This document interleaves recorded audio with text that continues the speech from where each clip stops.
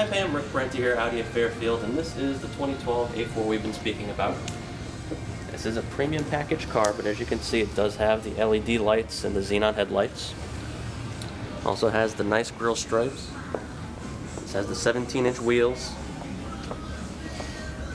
just like on the Premium Plus, and it also has the chrome trim around the windows, also like the Premium Plus package cars. Interior, this has the wood trim, black leather of course, sunroof, has the Bluetooth, the home link, and the iPod interface as well. And of course it has the rear LED tail lights as well, with exhaust tips. So when you get this, uh, shoot me an email or give me a call back, 203-335-0666.